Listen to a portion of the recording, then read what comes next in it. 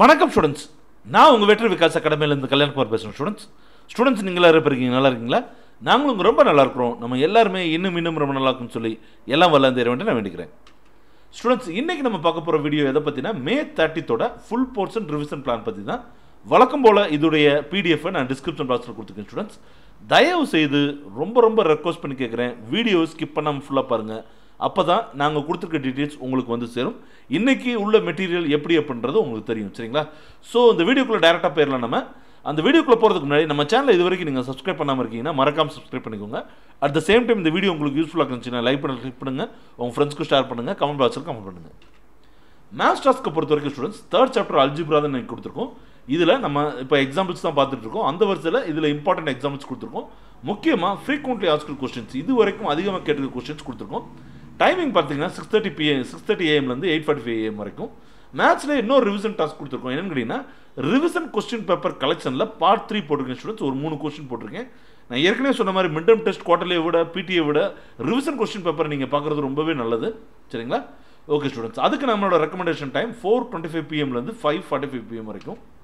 English டாஸ்க்கை பொறுத்த வரைக்கும் சினானிம்ஸ் அண்டனிம்ஸ் ஸ்டூடெண்ட்ஸ் நான் ஏற்கனவே three hundred three hundred and eight synonyms antonyms கொடுத்தேன். ஆனால் அது உங்களுக்கு ரொம்ப கஷ்டமாக இருக்குன்னு சொன்னீங்க. ஸோ இதில் என்ன கொடுத்துருக்கேன் அப்படின்னு கேட்டிங்கன்னா இம்பார்ட்டன்ட் கொஸ்டின்ஸும் இது வரைக்கும் எக்ஸாமில் கேட்டுக்க கொஸ்டின்ஸை மட்டும் தொகுத்து கொடுத்துருக்கேன் ஸ்டூடெண்ட்ஸ் ஸோ அதை நீங்கள் படிச்சுக்கோங்க.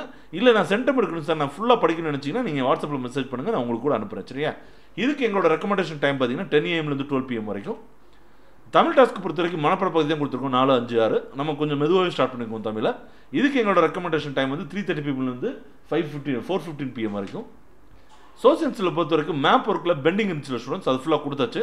ஸோ இதோட மேப் ஒர்க் கம்ப்ளீட்டாக முடிஞ்சிச்சு ஸ்டூடெண்ட்ஸ் நீங்கள் ஏற்கனவே கேட்டிங்களே சார் பெண்டிங் எப்போ கொடுப்பீங்க? அப்படின்னு. இதோட முடிஞ்சு டைமிங் பார்த்தீங்க அப்படின்னா டுவெல் ஃபிஃப்டின் பிஎம்லேருந்து டூ பிஎம் வரைக்கும்.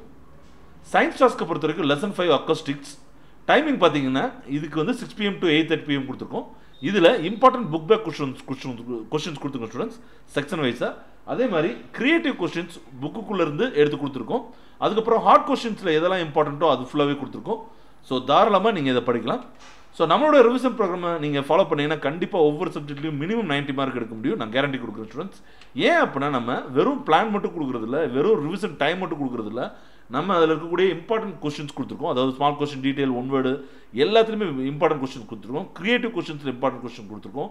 ஃப்ரீக்வெண்ட்லி ஆஸ்கர் கொஸ்டின்ஸ் கொடுத்துருக்கோம். மாடல் கொஸ்டின் பேப்பர்லேருந்து கொஸ்டின்ஸ் கொடுத்துருக்கோம். சரிங்களா? ஸோ கண்டிப்பாக உங்களால் நைன்ட்டி ப்ளஸ் ஈஸியாக ஸ்கோர் பண்ண முடியும். அண்ட் தென் நம்மளோட பிடிஎஃப் எப்படி டவுன்லோட் பண்ணுறதுனா இந்த வீடியோ கீழே ஒரு சின்ன டிஸ்கிரிப்ஷன் சாரி சின்ன டவுன்லோட் இருக்கும் ஸ்டூடெண்ட்ஸ் அதை ப்ரெஸ் பண்ணிங்கன்னா நிறைய லிங்க் ஓப்பன் ஆகும். அதிலே கடைசியில் இருக்கக்கூடிய லிங்க் டு கெட் பிடிஎஃப் லிங்க்னு இருக்கும். அதை கிளிக் பண்ணிங்கன்னா உங்களுக்கு இந்த பிடிஎஃப் டவுன்லோட் ஆயிரும் சரிங்களா?